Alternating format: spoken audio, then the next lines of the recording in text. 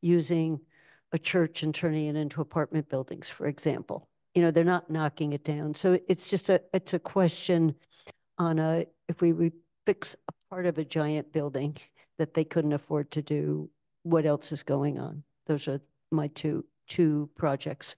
And I thought the set was terrific. And Sam, if it, we're more than glad to have you re- respond to those now. If you wanted to wait until the finance committee takes that up, you could also do that. Uh, Okay, please go ahead. I'll say what I have to say here. Uh, thank Okay. you all. Uh, good to see you back. Welcome to returning. Welcome to returning and new members, um, and to our liaisons and to, uh, town council for all the hard work. Uh, the presentation and report have already been submitted. They're in the packet, so anyone who wishes to look who's watching or looking at this after the fact can find the, uh, material on the town council packet as well as on the CPA website relating to FY twenty-five uh, proposals. Um, Regarding the Simeon Strong House, they're looking, they did have a study and I was on the CPAC committee at that time. Uh, That was limited in scope. They're looking to do a thorough uh, top to bottom analysis to cover three different areas. Structural integrity, the topography on the outside to uh, identify ADA compliance opportunities, uh, and, uh, excuse me, outside structural integrity, and there's one other one, stay with me. So in other words, it extends beyond what they asked for the last. Yeah, time. it's, and, the- and the interior, all the systems, all Yep. the mechanical systems, it's comprehensive. Uh, they want to get it done prior to work that's about to, or soon to commence, uh, with their neighbor at the Jones Library. Uh, and they hope to utilize this study for the purposes of a basis for applying for future grant work. Uh, they believe, and they already have other organizations within the state and federally, uh, that they have in line, and this study from Kuhn Riddle will provide them what they need to make those applications. So we heard them thoroughly, uh, and the committee was very much uh, in support of their intent behind this. Um, Regarding the North Church, it's a very historic building. Its 200-year anniversary is going to be next, two years from now. Uh, The roof is in significantly bad shape, as we can all see when we go by it. They um, took some time the previous year and went through our process with CPA, but did not have the wherewithal to focus. And uh, the committee asked them to return this year with a more focused proposal, which they did. Uh, It's specific to the roof because the church members and the committee realized that that's a singular area of maintenance importance. And the Historical Commission is very much in favor of proceeding and recommending the project uh, out of concern with uh, demolition by neglect. Uh, In fact, I received a call, or excuse me, an email from the uh, representative of the church this past month that indicated that the roof started leaking in the middle of their service. Um, So it's in need and, and uh, the other items, painting and otherwise, in terms of their wherewithal to accomplish that, uh, the committee is uncertain of that capacity. It hasn't been demonstrated. Uh, But the committee and the historical commission also recognize uh, that if nothing occurs with the building, uh, that it's in significant jeopardy. Uh, And I can say that from my own personal perspective, having used to have been a contractor. So, uh, which is part of the reason we asked for them to have a much more focused, prioritized project. They do uh, indicate that they're willing to contribute church funds towards a contingency related to the roof aspect. uh, And that they had talked with a bank about getting a loan, which they were led to believe uh, would be uh, able to be achieved if there was expenses beyond the estimate that was provided. Uh, Okay. Who's to say? You're all familiar with the expenses. In terms of the buildings staying a church or not, we did not delve into that. Uh, We are um, granting a recommendation to the Council and Finance Committee to proceed with that project uh, based upon the building itself. not regarding the nature of what is accomplished within the building. Uh, There are, there is something called uh, historic preservation restrictions, which I assume the council members are all familiar with. Audience members may, may not be. Uh, Upon receipt of the funds, there is the requirement to enter into an HPR agreement with the town to uh, prevent selling the property for profit. They would have to return the funds to the town. Uh, I don't know if interest is a factor or not, uh, but we don't get into what can occur with the building into perpetuity. We do know that the town's interest would be protected by virtue of the HPR. And you may be familiar as a former liaison as well, but uh, there is set aside for all historic preservation projects uh, that are private, we're allocating as of this past year a certain amount added on to the requested total to accomplish the HPR expenses. So I'm Okay, not sure if that Thank answers you. your questions. thank you. Uh, Bob Hegner? Yeah, I just want to point out that we will not be discussing CPA at tomorrow's meeting Okay, because it's not on the agenda. We'll put it on the agenda, I think, for the twentieth. Is that correct? okay. That's, that's the communication I received, that it's about two weeks from now or so.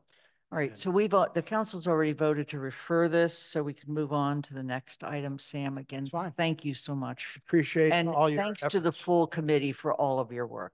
Uh, yes, Yeah. uh, they deserve a lot of credit, as do town staff. Holly has been fantastic. Dave Ziomek has been very helpful. Thank you. Um, the next item is with regard to, uh, the track. And the motion that I'm putting on the floor is to refer the January 23, 2024 Regional School Committee borrowing authorization to the Finance Committee for a report and recommendation to the council by March eighteenth, twenty twenty-four. Is there a second? Second. Kathy, you have your hand up. No? Bob, you have your hand up. Kathy does have her But, hand but up. I do have my hand up, but if Bob had his hand up, because that No, was, he didn't. that was my third question. Um, this, we have three pieces of money Right, tied up in the track. One was the straight one point five million, which was a, if they didn't raise enough money by a certain date, all they were going to do was the track. So I think that is the rescind and replace that, that the school committee just did. So my question is, are we looking at changing the wording in all three? Because the second one, when we had um, free cash and allocated, we said option one, two or three, so we left open that it didn't have to be artificial turf. It's, we said this is for the bigger project.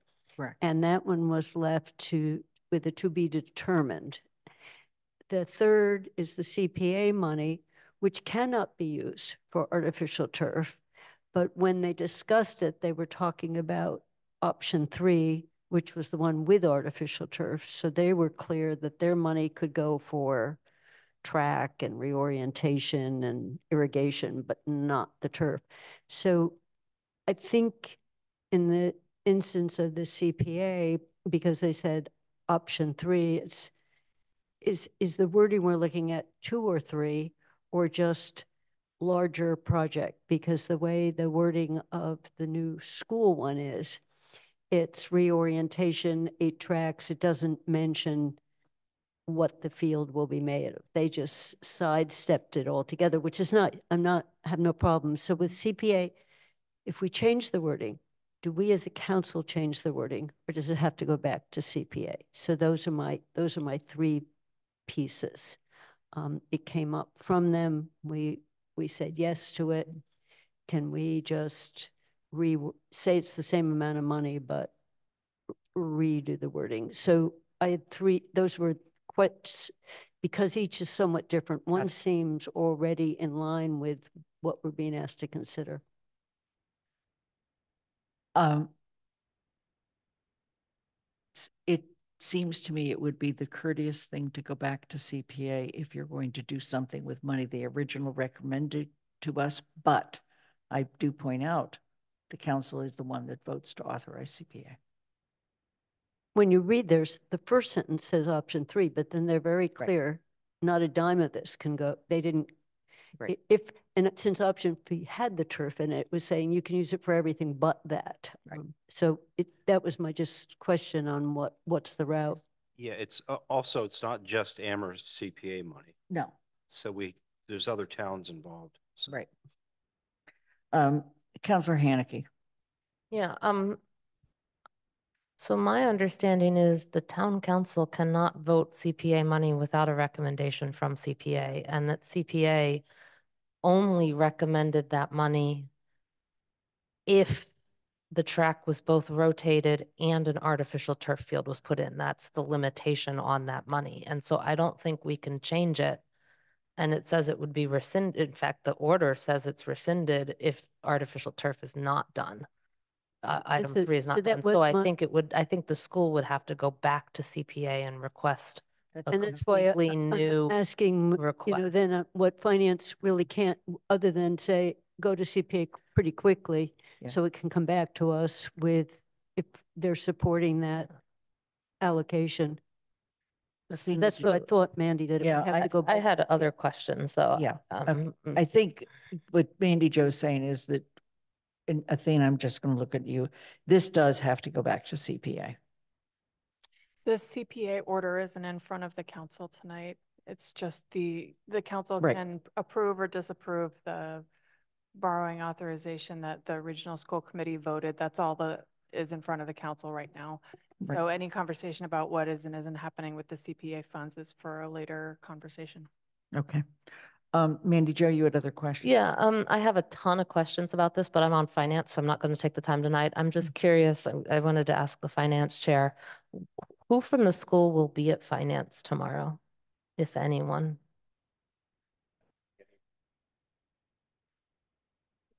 Okay, is there a way, uh, obviously, maybe we can't get there tomorrow, but, but that we can somehow schedule a second, whenever it comes up a second time at finance to make sure school personnel that can answer questions are there? Yeah, I think we could, we could ask them maybe for the next meeting. But I don't, we haven't invited anyone to the, to this meeting. Okay. We didn't know it was referred till. All right, uh, if that's the case, then the motion's been made and seconded. We're going to move to a vote. Mandy Joe, you can hold your, or you're, you're okay holding your questions till tomorrow? Okay, thank you. Uh, we're going to start with Kathy Schoen. Yes. This is just the referral to finance, okay? Andy Steinberg, Aye. Jennifer Taub, Yes. Counselor Walker, Yes. Pat DeAngelis, Aye. Anna Devlin Gauthier, Aye. Counselor Ette, Aye. Lynn Griesmerson, aye, Counselor Hanneke, Aye. Bob Hegner, Aye. Counselor Rhodes absent, Pam Rooney, Yes. Counselor Ryan. Aye. It's unanimous with one absent. We have one other vote, and that is to approve the warrant for the March. Oh, that was on consent. Excellent. We don't have one other vote. Oh, because we also did minutes. Thank you very much. We are now up to uh, committee and liaison reports. Is there, I can just quickly go down those. Um, As soon as I find my sheet.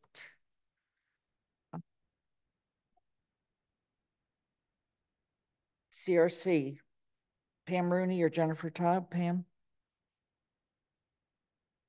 Okay, elementary school building, Kathy Schoen or Counselor Walker? Uh, the next meeting is the sixteenth, but they, the school is at its second round of planning board tomorrow night.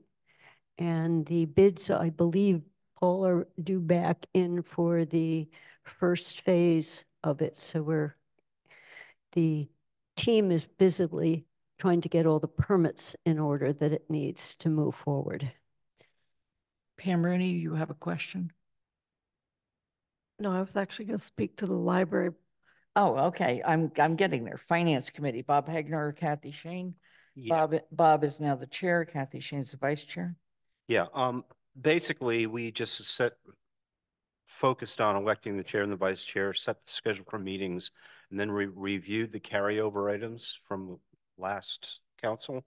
Um, and They were the AHRA financing, financing options, the streetlight policy, rental bylaw and fee structure, the waste hauler bylaw, and the policy regarding disposal of surplus property. And the only one we, we could take action on is the surplus property one. So we're gonna start, we're gonna review that, start, start the review tomorrow on that. Okay. Um, uh, GL, GOL, Anna Devlin Gauthier is chair of that. Counselor Freke, uh, Ette is vice chair. Anna? Well, as we know, GOL is by far the best committee. Uh, we started in on when, on making our plan for what we're going to do in the coming year, reviewing our carryover memo. Uh, we looked at the resolution that we had regarding, uh, higher education access and, um, started to think, sorry, I pulled up the wrong thing. Right, right, there we go. Started to think about what we've got ahead, including the uh, appointments to the Charter Review Committee and Finance Committee. Um, and we will be moving forward with those as well as recommendations regarding liaisons shortly. Um, one quick thing out of GOL, one of the, uh, we will not be proposing any blanket GOL changes to the rules until later on in the year as we have just completed that first round. So if counselors have individual rule changes they would like to make, please submit them in their final form, the language that you would like GOL to discuss, um, to the, the council for, um, referral, that's the word, to GOL. We will not be going through the rules again until enough time has passed since the last time that we've done that. Thank you. Jones Library Committee, Pam Rooney is our representative. Paul Bockelman is also on that committee. Pam? Thank you. Um, I was able to meet with, um, the director, library director. And, um, they are moving along, looking for, hoping to get, um, settled on interim space. Um, she did mention the three hundred dollar, three hundred thousand dollars that was recently passed over to the town from, uh, as she called it, miscellaneous pieces. Um, I did not, I neglected to ask her, um, about the timing of the first, uh, round of the two million dollars that, that the finance schedule called for. So I was gonna ask Paul if he has, uh, knowledge of that, the timing of that $2 million payment, and, and what is the impact to the borrow um, if we don't see that $2 million in the time frame that was being projected for our, um, for our amount. And then thirdly, uh, the very happy fact that the North Amherst Library was open to the public today. And there were lots of people there. Got that. Anything else to add, Mr. Bockelman? Okay. Uh, Town Services and Outreach Committee, Andy Steinberg is chair, Counselor George Ryan is vice chair. Andy? Yes, the uh, meeting, the one meeting that we've held so far was uh, election of officers and review of the carryover memo, and then a little bit more extensive discussion of one item from the carryover, which was the waste hauler to get an understanding of where we were with the timetable on getting the RFI um, proposed uh, review back because there had been responses to requests for information, and uh, that was an essential fact-finding piece that would uh, benefit the committee in moving forward with uh, that item. And uh, I think the other thing that I'll just mention is that uh, there was an excellent um, presentation made as a MMA conference um, session on waste hauler um, that actually was addressing the same issues that were the issue, issues that were brought before the TSO and the TSO was considering. And I think, Athena, that we added that to the packet of the last TSO meeting. I, um, the slides from that are excellent. And uh, so I would encourage anybody who has an interest in doing so to look at the packet for the meeting and pick that um, uh, up. Thank you. Okay, very quickly regarding liaisons, uh, this is a matter that's now before TSO, as I believe Counselor, um, Vice President, uh, Devlin Gauthier suggested. I have now reached out to every committee and tried to include their, uh, staff liaison, and I'm getting responses back. Uh, they're due back by the fifteenth, and that will then go to TSO. They'll come back to the council with a recommendation. And hope GOL, it'll go to, I'm sorry, it will go to GOL. Come back to the council with a recommendation as to which kit, which committees, and at that point, counselors hopefully will sign up. Um, We've done the minutes, town managers report. So you have a written town manager report, just three things I want to mention. One, thrilled that Sandy Pooler is back on the staff. I announced that last time. Um, a little more detail in the report. Uh, he, he, we do work around his travel schedule, um, but when he's available, he's very, uh, has a lot of, uh, a lot of value to add. Second is just congratulations to, um, our DEI department. They are having a ton of activities, uh, sort of started before Christmas and continues through um, February. So if you if you can see the if you take time to look at the exhibit in the town hall, it's just really educational. And the third is uh, congrats to our uh, our recreation department for a week long efforts of Winterfest uh, that concluded on Saturday. Um, and included also just want to mention there was a huge turnout at Amherst College that was organized by the college and also the recreation department and especially Angela Mills in, in our office um, to put on it's it's a getting girls and um, uh, student athletes at Amherst College to be connected to and they probably had 200 people there um, girls and and young women who are scholar athletes and trying every sport imaginable they had just turned over the entire um, athletic facility to the to the program so it was, it was a huge turnout and really good good, good event for them so Great. a lot of work went into the development of that Are there any questions of the town manager? Anna? Paul, I don't know if you're going to be able to answer this. So in your town manager, so I'm giving you an out if you if you don't know the answer. Um, in your town manager report, you talked about under economic development and license suspension. When a bar or a restaurant has their license revoked, do they pick the date that they will be serving the sentence? Because to pick a Monday night feels not very impactful. And I know I'm not saying it needs to be impactful, but I'm curious how the date is picked. So, so they, that. yeah, so they work with, ABCC issued that suspension, so they work with the ABCC uh, in choosing the date. And usually they, if they have an attorney, they work it through what days, you know, they, they know not to choose a day they're not open enough. but- Right. But they often will choose a, a less onerous date. Okay, thank you. Alicia? I'm sorry, Counselor Walker. Uh, thank you. I'm not sure if this question should be for Paul or for Lynn, but I'm just wondering if we might expect um, ARPA funds to return for our next council meeting. Because I think we said we might address this sometime in February. Yeah, so our goal is to get it on the agenda um, for the February 26th meeting. Okay, thank you. Um, are there any other questions? Uh, just very quickly, we've already done the minutes, I'm, I'm sorry. Uh, uh, at the- our next meeting on the twenty-sixth, both I and the vice president will have reports. And we are polling, uh, we've selected some additional dates and we'll be polling for retreat dates. Are there any other questions or comments for future agenda items or counselor comments? Seeing none, the meeting's adjourned at eleven eleven.